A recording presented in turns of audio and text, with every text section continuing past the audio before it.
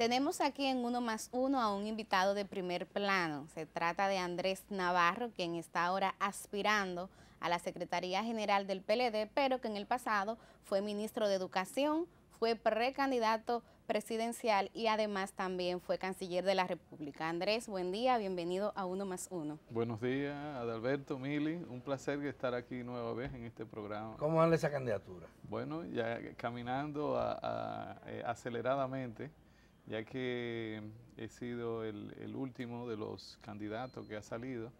Estuve muy eh, eh, concentrado en la primera etapa de nuestro noveno Congreso Ordinario del Partido de la Liberación Dominicana, pero ya concluida la reforma estatutaria, entonces pedí eh, una especie de licencia en la comisión organizadora para dedicarme a la promoción de mi perfil para la Secretaría General del partido. Así que estamos intensamente trabajando. Esta vez no va a ser por voto popular la eh, elección. voto universal no, es un voto cualificado que se ha tomado la decisión en un dispositivo transitorio de nuestros estatutos para que en esta ocasión sea el nuevo comité central que escoja al presidente, al secretario general y ya tradicionalmente eh, se encargaba de escoger al comité político. Hay cuatro aspirantes. Bueno, eh, compañeros, somos como cinco o seis Que estamos aspirando. Sí. ¿Y cuáles son nosotros? Bueno, vi a Luis de León que se sumó. Sí, me, di cuenta que el compañero Luis eh, también se está postulando. Eh, y hay otros compañeros como eh, Charlie Mariotti también. Charlie Mariotti. Sí, Rubén Bichara. Rubén Bichara. Son personas muy, muy de mucha capacidad, de mucha trayectoria en nuestro partido el compañero José Lalu ha manifestado también interés en, postularse. En definitiva, eh, son, eh, somos diversos perfiles de PLDistas que estamos eh, apostando a, ser considerados. En el caso mío, pues mi motivación fundamental es la convicción, el convencimiento de que no es suficiente una reforma estatutaria para transformar a una organización. Es necesario una efectiva gestión de esa transformación y eh, estoy muy comprometido con el partido para dedicar mis, mis capacidades, mi experiencia en una gestión inteligente, estratégica, para que todos esos eh, mandatos de los estatutos se puedan eh, plasmar en la realidad de, nuestro partido. Es la gran oportunidad que tiene hoy en día el PLD de, a partir de una autoevaluación y un reconocimiento de fortalezas, pero también de debilidades, entonces eh, replantearse eh, la organización como tal. Y esto va a meritar también de eh, generar mucha confianza en las estructuras partidarias para que esto sea una realidad. Justamente te iba a preguntar con eso de, la confianza que tú pudieras tener en el proceso, porque desde la sociedad hay dudas en relación a si lo que va a pasar es que el expresidente Danilo Medina va a terminar imponiendo su candidato. Tú que vienes de un proceso similar con la precandidatura, ¿cuáles son las expectativas de democracia real que tú tienes? Bueno, e, e, esas son, Mili, eh, eh, digamos, especie de versiones que se lanzan sobre cualquier liderazgo, en, cualquier ámbito, en el ámbito empresarial, en el religioso, eh, también en el político y en el social cuando hay eh, liderazgos que eh, se han desarrollado lo suficiente, se crean siempre esa especie de, versiones, pero realmente la, trayectoria que ha tenido Danilo Medina en la construcción de su liderazgo, podemos demostrar que no ha sido un liderazgo basado en el culto a la personalidad, muy por el contrario, en el trabajo en equipo. Así que hoy en día el, el PLD está abocado a seleccionar a todos sus niveles de dirección. Primero vamos a seleccionar al Comité Central, que en esta ocasión eh, los estatutos han establecido que sea un comité central mucho más grande, alrededor de mil personas conformarán eh, el comité central, y luego comité político, presidente, secretario general y también los incumbentes de las secretarías eh, temáticas de nuestro partido. Y la, como el voto es cualificado, ya la, no se trata de una campaña masiva, se trata de una campaña, muy focalizada interna. Así es. Hacia los delegados. Hacia los, miembros del Comité Central. Sí, eh, ¿Para qué fecha se tiene previsto la elección del secretario general y del presidente? Bueno, eh, será a final del mes de febrero que haremos esta, esta reunión del Comité Central porque el Comité Central está previsto ser electo los 300 compañeros a incorporar para el 14, domingo 14 de febrero. El PLD es bueno porque el que llega no sale. No sale. El no, no, ¿cómo? Lo, tumba la base, eso es... No, ¿cómo así? Explícame. Bueno, el comité político del PLD, eh, a los quienes van a sustituir simplemente a los que salieron. No, eh, no, no. En el comité político todos... Y algunos, algunos viejos, algunos veteranos de guerra, ¿verdad? Que han decidido quedarse al margen. No, en esta ocasión, el, todos los miembros del comité político tienen que someterse nueva vez a la votación, en este caso del comité, central. Sí, así es. Eh, y eh, por tanto eh, ya no sabemos quiénes quedaremos y quiénes iremos al comité central como, tal. ¿no? Que han dicho que no le interesa. Reinaldo Pared, que es el actual secretario general, ya dijo que no quiere ni la secretaria general ni ser del comité político. Felucho Jiménez lo dijo aquí, en este programa, que él se va a retirar de, de ahí. Él, dice, dice Felucho, eso para darle paso a los a las nuevas generaciones. ¿Quiénes más? Hay algunos compañeros como también José Tomás Pérez, ah, eh, que, ha hecho pública su intención de, no eh, postularse nueva vez al comité político, pero eh, los tres se mantendrán en el comité central.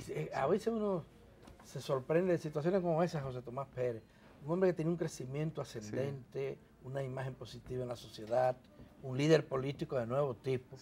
Entonces como que se anuló.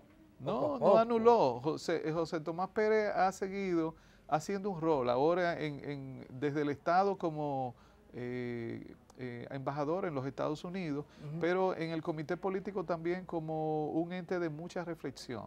Eh, y gracias a la tecnología ha estado siempre participando, en, el PLD. ¿Él se quedará en el comité político? Eh, no, en el comité central ha dicho, no, no aspira a mantenerse en el comité político.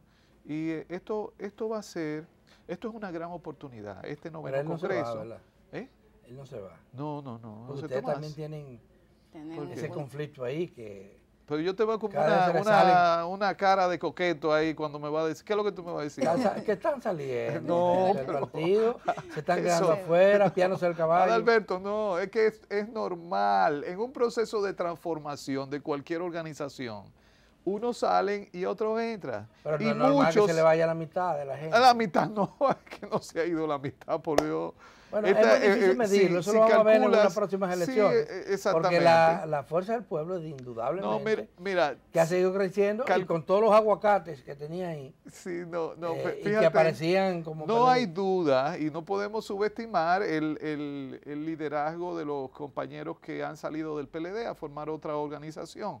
Eh, no, no es correcto, eso hay que respetarlo. Hasta pero, después. Pero simple y llanamente. Tú dices hasta Simple y llanamente con los datos que tú puedes sacar de las elecciones te das cuenta eh, la, la, situación de esa organización que se ha formado con ex compañeros.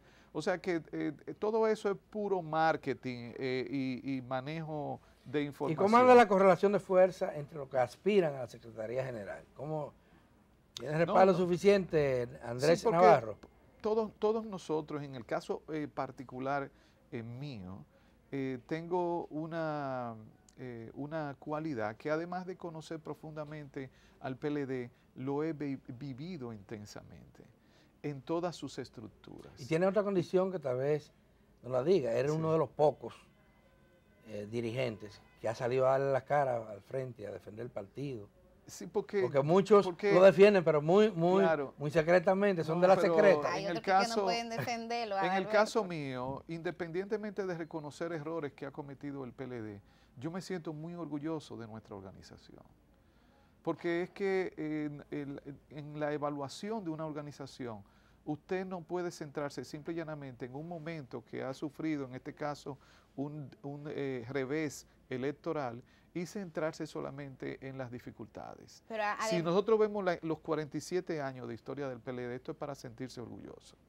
Que debemos, que debemos reflexionar, que debemos eh, darnos cuenta eh, eh, a partir de una autocrítica de los temas que son necesarios transformar o fortalecer. Sí, eso es parte de la responsabilidad política nuestra frente a la sociedad y fundamentalmente frente a las bases del partido. Pero el, sentirse uno parte de, eh, eh, ese sentimiento de pertenencia genera en cualquier contexto, así sea en el más adverso, la voluntad de dar la cara. Y no solamente yo, en muchos, muchos compañeros en todas las provincias y aquí a nivel nacional han estado dando la cara. Miren, estamos realizando un congreso en una situación de adversidad, también de muchos ataques de diferentes eh, eh, lugares. Sin embargo, miles de compañeros siguen dando la cara. Y, eso, y eso genera mucho, mucho orgullo en uno. Tú mencionas lo del revés electoral, pero lo del revés electoral fue lo último. O sea, comenzó con un cuestionamiento moral a cómo se administraban los recursos públicos. Entonces te pregunto, ¿cómo desde tu proyecto de Secretaría General, como de las mismas reformas que estaría haciendo el PLD, ustedes van a volver a conectar con un electorado que tiene desconfianza en ese sentido? Sí, Mili, mira, nosotros tenemos un gran, un gran reto. El primer reto que hay que abordar en el PLD es fortalecer la confianza de las bases del partido en su dirección. Eso es lo primero. ¿Para qué? Para que nosotros podamos estar como cuerpo. Porque también hay desconfianza. Claro que sí, no podemos desconocer eso. No podemos desconocer que al interior de nuestro partido, por una serie de, procesos que llevamos y, especialmente de lógica que se generó, cuando al, al cabo de un periodo tan dilatado de gestión gubernamental, nos fuimos descuidando de nuestra organización. Y, esto no podemos volver a repetirlo. Por esa razón, la decisión inteligente de que el presidente y el secretario de, general del partido, desde ahora en adelante, no pueden asumir funciones ni electivas ni designadas en el Estado para que estén dedicados ¿Eso lo plenamente. Los ahora? Sí, ya, exactamente. Y precisamente mi decisión de postularme es porque ya eh, eh, eh, tengo claro que a lo que debo dedicarme a la gestión del partido. Y esto sí va a generar confianza. ¿Por qué? Porque va a haber un día a día de gestión de la organización que entonces le permite a la membresía en todo momento, estemos en la oposición o estemos en el gobierno, pues un interlocutor permanente. Eso genera una condición de generación de confianza y claro, después de cara a la ciudadanía, el país tiene que sentir, que eh, palpar que el PLD se está transformando y que está resolviendo ese, tipo de, problemas que fuimos acuñando por esa larga eh, y esa larga eh, gestión gubernamental llena de frutos. Este proceso, perdón André, va a ir probablemente de manera paralela con investigaciones del Ministerio Público, Alberto lo decía en el segmento anterior, que tienen que ver con corrupción, presunta corrupción, que involucran a dirigentes de ese partido. Entonces va, a ser difícil. No, no, no, eso es parte, porque, oigan, se, los digo, nosotros que hemos estado en el Estado, pero ahora los que se están estrenando, el que osó, el que se atrevió a asumir una función pública, sabe que es susceptible de ser investigado, porque desde que tú manejas un solo peso público, ya eres un sujeto de sospecha.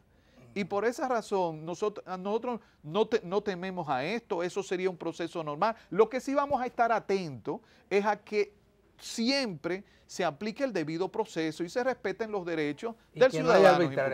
bueno, qué bueno. Eh, Andrés, la próxima entrevista será como secretario general del Partido de la Liberación eh, Dominicana. Así será, sí. Así que nos juntaremos aquí. Gracias por haber venido. Bueno, un gusto, un gusto, Mili, Adalberto, ha sido un placer. No se vayan, que tenemos a una representante de la comunidad dominicana en el exterior, eh, una diputada, una diputada nuestra en Nueva York. Así que venimos inmediatamente.